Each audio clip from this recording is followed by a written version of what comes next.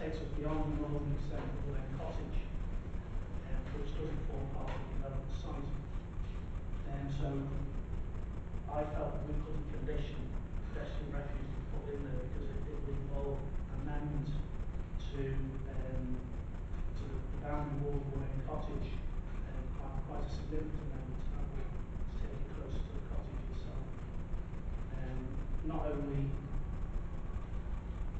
felt that wasn't reasonable, not only from the point of it's not included in the, um, in the planning application, in the development site, but also would have a significant impact on the boundary wall and on the living cottage, and would also require um, um, uh, alterations to Marsh Lane, junction with Mount Road, and to, to make that suitable transition.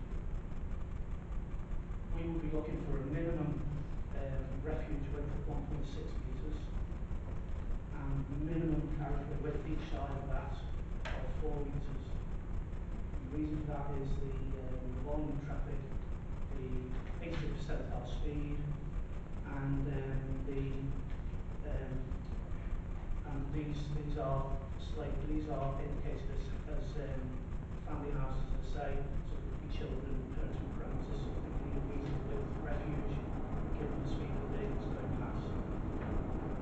Um, and I think, and what, I mean, in terms of, of, of pushing the wall back in 2.5 metres into the site to provide this width, planning, our plan, my planning colleague has also has mentioned the trees along the back. Obviously, I, I don't know exactly where the trees are, but it's a good possibility the way, the trees have been planted is historical.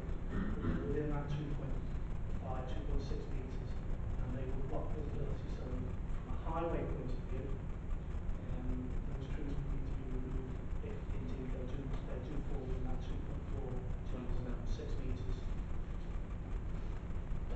So, can I just ask, though, if, if all that was done is the refuge were providing a transition carriageway was wide, would that would be um, okay in highway safety terms then? The, the access would have to be moved. Mm. Um, you'd have to move further to the north, close to the Lane Cottage and Mount Avenue on the, on the opposite side. We'd have to look at the detail of it, but I think it, I think it's achievable. It's a lot of achievable. work, a lot of work involved and would impact on the Lane Cottage, on the site of the Lane Cottage. Would impact on Marsh Lane, Mount Road Junction. Um, so a lot of work involved, but I think it's, it's feasible. That's helpful.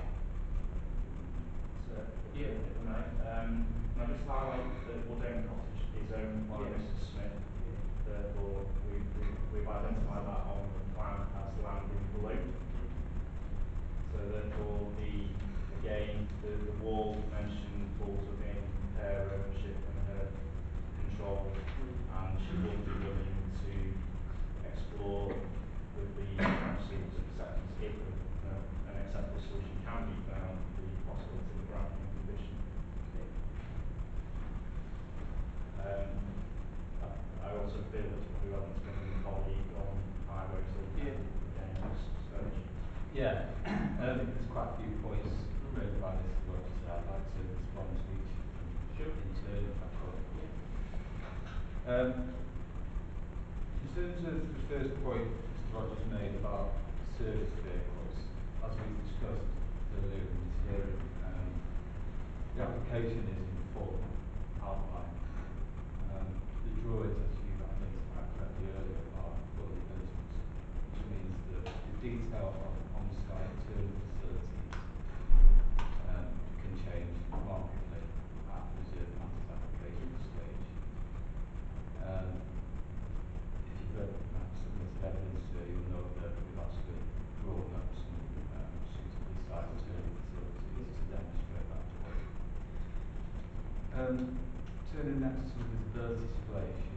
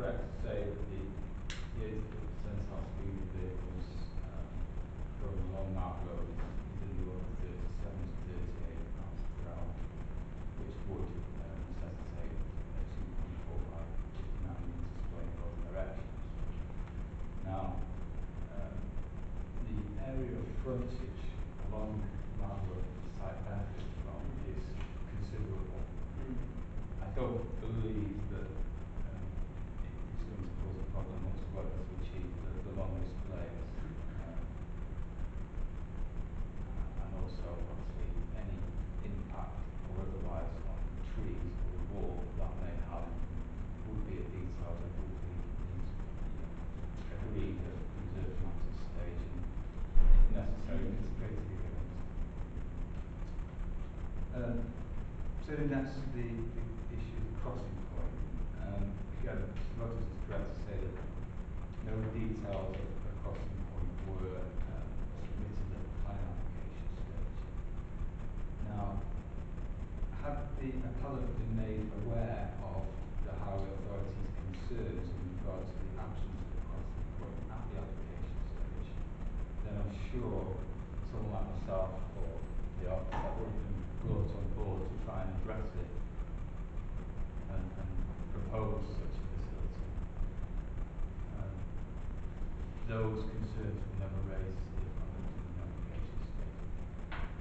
So, um, obviously I've come on board at this appeal stage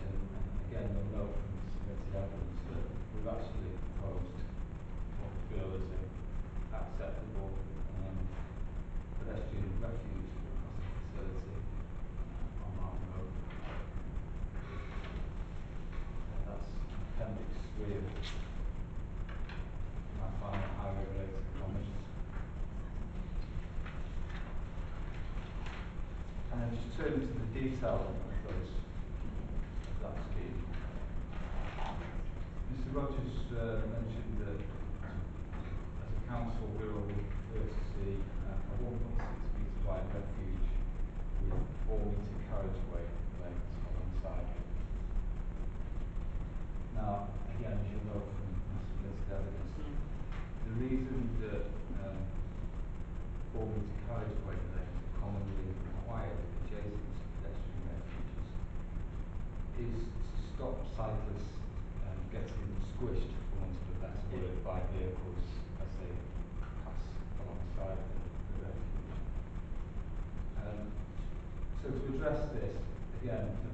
shows that a suitable footway stroke cycleway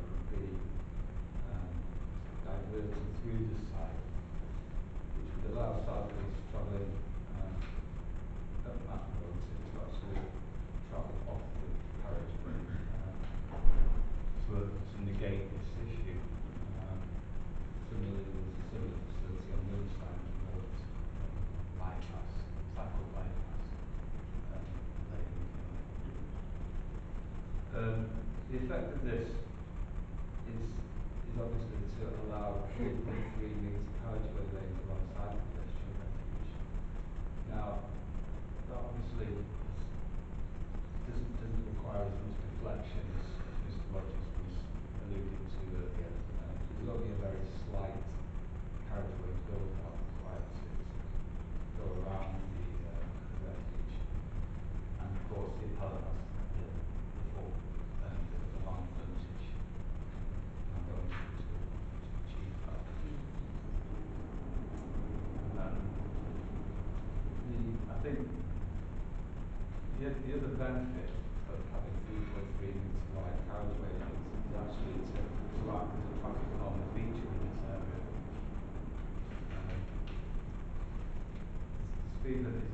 is not.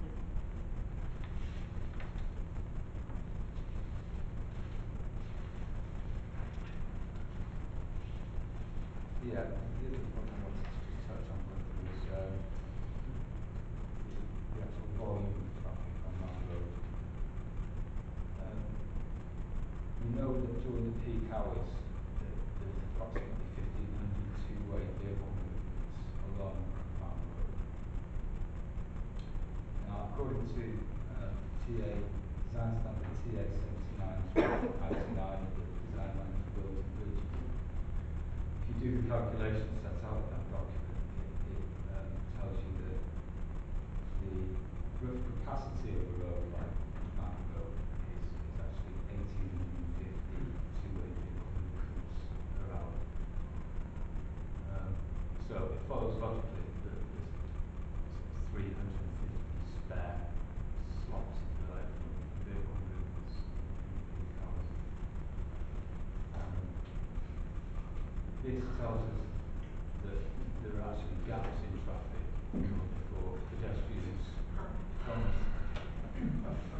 to cross the road. Sorry. Even at, even in peak periods. So, our view, or my view, is that pedestrian refuge isn't actually required. Um, but it is open to you, to use to, to condition if you, if you feel it is necessary. Well, we can observe, we can observe what traffic conditions are like. I mean, when I was there yesterday evening, it was quite late, so obviously traffic was quite bad. Well, I stopped there at ten to nine this morning and crossed the road three or four times to have a look around. Quite exciting. Yeah, I think it's the Could right I, could I just say something? Just, can I take I it from your live- name? Oh, And I live on Mount Road opposite, directly opposite Marsh Lane. And what concerns me more than anything, that land, the woods, the lane, is a wonderful, uh, something to have on the road, which we have a lot, a lot of. It is so well used, the amount of traffic going down it, I live opposite, and I have seen the number of of cars coming up and down Mount, up to Mount Road, Mount Road, um, I, I don't know the traffic figures, I'm not involved in that, but I witness this every time we try and get out of our drive.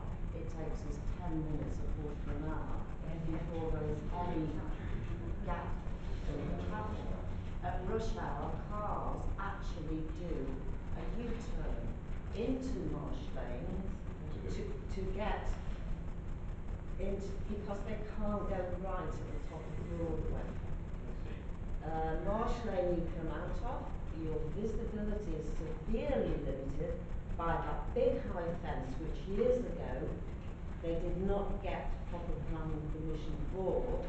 The stables, um, condition of building those stables was that something would be done about the visibility coming up Marsh Lane, which to my way of thinking never happened because you've got this high leylandii fence as well, and mm-hmm. straight onto the Well, road. it's, yeah, into, In answer to that. Well, hang on.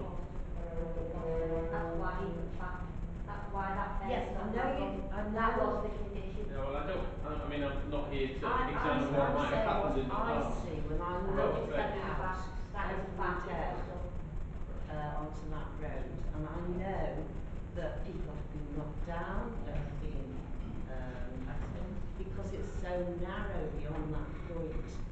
It, the road sweeps in, and it is very narrow, there's no pavement on one side. Um, so you have to rely on those on the other side. And if you go walk along there, you walk along the pavement, and it's not just at rush hour. You are in great danger sometimes of being swept off your feet by the speed of the traffic. But that's an existing, that's an existing situation. Yes. Yes, That's which happening now. remain Which has to be taken into consideration. Would you You've got not one positive to slow the road down or make it better, it would be a positive change? One at a time. Okay, have you, have, have you completed Well, you wanted to it's just that I've lived there for thirty years. Originally, that was a little small property, and the land was, uh, used for growing vegetables and whatever. The stable, uh, provision for those stables was only given because they felt it was a suitable building to have in greenbelt land, fair enough. But it is not a residential area, that side of the road. Well, we- we And can I think take it- people from all, when we, when Woodland Trust got involved and the woods were bought. Um, it was amazing, people from New Zealand and all over the world who remember that area. And wanted to preserve it.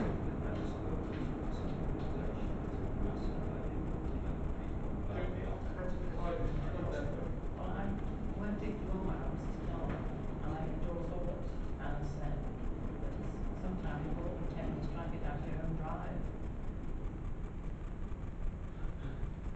And so Mrs Smith altered her front door to round Marsh Lane, and she took on the property. It was so dangerous to come out onto the road. No, no, no, there. Plus the fact that you get huge lorries going down the motorway, and traffic is very extensive most of the day. Well, we can, we can take a look at that, you've been waiting a while to speak.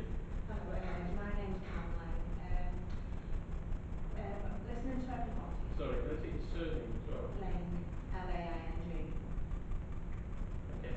this opportunity could be an opportunity to make the road safer for all the residents all around. And that's like in the future, you know, that's how I see it as well. It could be made safer. How, do you think it could be made safer? Well, the highway people will be able to say it, I believe it's an ambush. Well, through, through, through the provision of a refuge and narrowing the, narrowing the road. maybe this is the opportunity to solve this problem out if there is one, you know, it's to make everybody safe as well, not just the residents here, if there's new residents coming in, it's to make everybody safe. Motorists, cyclists and pedestrians. All right, Mr. Cook. Unless there's any other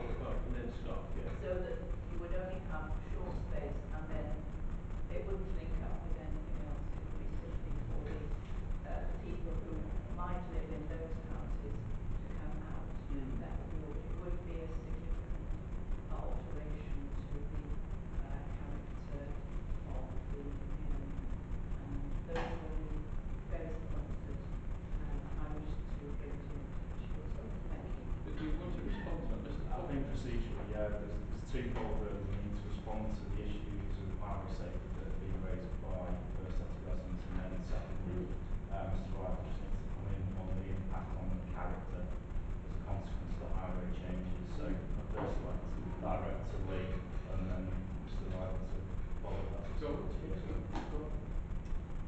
Okay, um, well, I'll respond to that lady's concern, which you named first. The, the, um, the refuge wouldn't be single control, it would just be a simple uncontrolled, uh, island in the way that, uh, that's what we suggest would be appropriate. Um, in terms of the removal of the wall, I think as we mentioned earlier, that the wall would actually be rebuilt, uh, behind these vertices of that. So it shouldn't alter the character significantly. Um, in terms of the footway lane, we've suggested in the appeal letter that's submitted that the footway could run effectively, uh, not quite up against the boundary of the site, but certainly up through the site along its entire length and then through, um, Wood End Cottage as well, up to the junction of Marsh Lane and Mount Road. There will be a crossing point to link with the existing footway on the western side of Mount Road near Plymouth bus stop. Um, so that, that, that's what can be done if it's, it's, So if living on this site, um, got off the bus, that bus, which I noticed yesterday, they could walk south, cross, cross over the junction with, um, Marsh Lane. that, that bus stop is actually not used. Right. But if it, if it was brought back into use, then it does provide a link further beyond some of the other policies. Well, we can look at that on the site, I suppose. Um, in terms of the, the point made about accidents, um, again, uh, that in my original rebuttal evidence, I set out the recorded road safety accident record of the area from the last, uh, or the most recently available three-year period. Um, there were only two accidents along that was recorded during that period, which is not an unusual or onerous um, safety record by any means. Uh, As ward councillor, I would totally object to that. Well, it has looked. This gentleman isn't on site, he's, he's not aware of the, uh, the physical. Well, I, I- I'm on site there five times. These are recorded I- I accidents. These, totally the definition of an accident, a recorded accident is one where the There's attend. recorded accidents and non-recorded accidents. Yeah, of Sorry, course. I'm, I'm looking at the overall picture. Uh, I'm Of sorry, course, but the inaccurate- unrecorded Sorry, accidents- it's inaccurate. Well, it's, Well, it's, I not don't think it's an inaccurate statement if you're saying there were two recorded accidents, that's what the record shows, and that's not Uh, inaccurate. sorry, injury acc- accidents are not just the, the overall uh, issue here, it's non-injury accidents as well, It's some criteria. I'm aware, I'm aware that recorded And it's accidents, sa- We're talking about the safety of the local residents and local people, and that's what I would suggest. If I could just follow on my colleague, uh, Walter Smith, um, I, I know the, uh, highway, uh, representative that for the uh, developer mentioned he was there for about a quarter to nine this morning, well, I actually also traversed there at a quarter to nine, coming the other way, I was going to Bromborough. Right. And, um, turned down Broadway, and it's extremely busy, I mean, it's one of the most busy roads, uh, anywhere in, in Wirral, outside the A forty-one. And, uh, coming back from Bromborough, in fact, one of the reasons I was a little late getting into here, um, I had to come out of Broadway with Mount Road passing, and it is absolutely hazardous at a peak period trying to get out of Broadway. You, you, you want to turn right, and there's vehicles coming from your, um, near side, and then, Yeah. uh, when they clear, the cars are coming from Clatterbridge into Birkenhead, and this constantly goes on. And going on the recorded accidents, there are many, what I probably call them minor pranks, but there are many of them. We have a resident that lives right by it with all the, you, you'll probably observe the, um, different uh, roundabouts near Broadway. Mm. And you will, uh, the resident that lives right on there is extremely concerned about the number of pranks that happen between vehicles. They, they're, they're not recorded, but there are many happening. Yeah, but what, but the, the question I have to ask, that's an existing situation, there's no development on, on the site at the moment, that's how things are now. So, So why would this make development Well, they get worse. to make things much, much But why would it worse? make, why would it make Because it's going to exacerbate a situation that is already really bad at the moment at this point in time. What, because it would produce more traffic? It, does more, well, I mean, but yeah, obviously there's going to be a host of more traffic movements. You just think of the issues with service vehicles. Remember, a number of the contentious planning applications we've had in Bebington over the years, service vehicles attending tending uh, property that cause more damage to the local areas, breaking the pavements, but also from moving around. There's the danger of you know, colliding with gables and things like that. These are serious issues that have to be taken into consideration. And a speed of 60 years experience. you know, so You wanted to speak. Um, just to, just to respond to the initial, um, points that Mr. Kendall made, um, about the first point